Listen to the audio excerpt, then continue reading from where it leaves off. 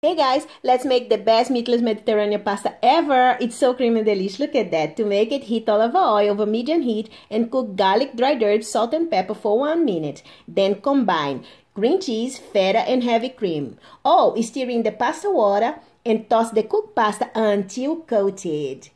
Oh yeah, look at that you guys. This pasta is so creamy. Now turn off the heat and add tomatoes, canned artichokes, and olives. Then top the pasta with feta, parmesan, and parsley. Yup, this baby is finally ready to eat. Now go ahead and drizzle some more olive oil and enjoy. It's so easy and delicious, guys.